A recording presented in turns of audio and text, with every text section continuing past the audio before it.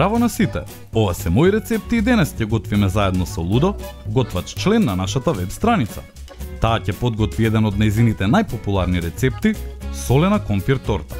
Најпрво да ги погледнеме состојките. За подготовка на овој рецепт користиме Делимано Смарт Лонец и Делиција округла тава од 26 см. Компирите сварете ги со лушпа, така ќе впијат помалку вода и пирето ќе биде покомпактно.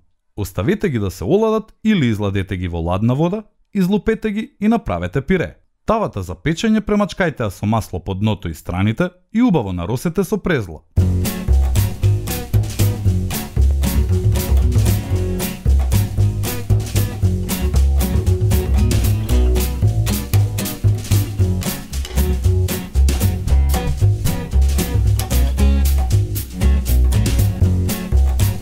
Додадете ги јајцето и путерот и убаво промешајте.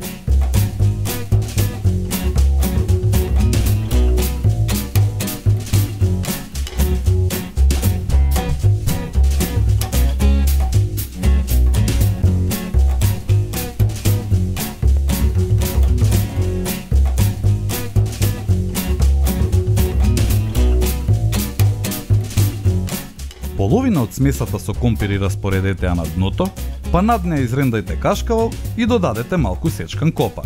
Потоа ставете ја преостанатата смеса од компири и најгоре добро наросете со презла. Печете во рерна на 200 степени 30 минути или додека презлата да добие златна боја. Сервирајте додека е топло. Во филот на средината ние ставивме кашкавал и копар, а вие можете да додадете и печурки, коцкички салама и други зачини по ваш вкус.